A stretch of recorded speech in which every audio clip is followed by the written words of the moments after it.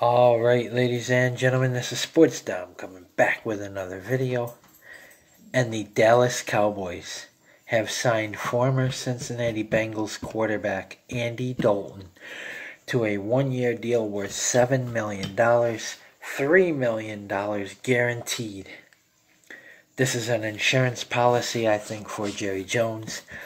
Uh, in case Dak holds out or gets hurt, Andy Dalton can come in and is very, very capable of winning the Dallas Cowboys football games.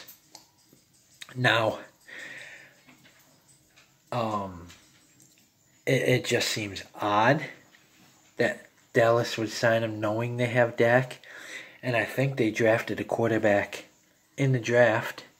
Um, so I think this is an insurance policy, and uh, to light a fire you know, under Dak to sign that contract. Um, because if he don't, I think Andy Dalton can and will take his job. And I think that's what Jerry Jones uh, is doing. He signed Andy Dalton to a one-year, $7 million contract just in case uh, Dak either holds out or gets hurt. And Andy Dalton will be a good backup. Uh, probably one of the best backups in the NFL. Um, for the Dallas Cowboys. So it was a good signing. Um, I personally like the signing uh, for the Cowboys' sake. Uh, and Cowboys fans should be happy.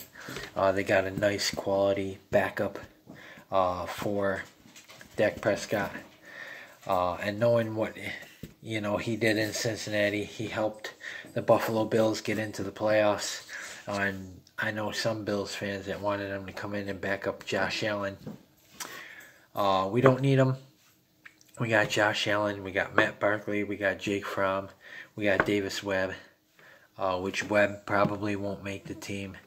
And I'm guessing, I'm hoping they go with three quarterbacks. Uh, but last year and the year before that, they went with two. Uh, last year they went with Josh Allen and Matt Barkley. Uh, I think they need three quarterbacks, you know, as a just in case. Uh, but congratulations to Andy Dalton and Jordan Dalton. They moved from Cincinnati to Dallas. Uh, the Dallas Cowboys are getting a very, very good quarterback. Uh, and uh, the Andy Dalton Foundation now goes uh, to Dallas as well. Um, and as you know, a lot of Bills fans, after Andy Dalton helped us make the playoffs, in 2017, a lot of Bills fans went and donated to the Andy Dalton Foundation. But like I said, I like the signing. Congratulations to Andy and Jordan Dalton. Uh, it, it sucks that your time in Cincinnati has ended, but I think a change of scenery uh, is what he needs. And uh, he wasn't out of a job long, so the Andy Dalton era in Cincinnati is officially over. The Joe Burrow era in Cincinnati officially begins. So good luck in Dallas, Andy Dalton.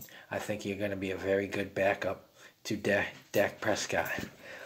Like, like, um, comment in the comment section below on what you think of Andy Dalton signing with the Dallas Cowboys.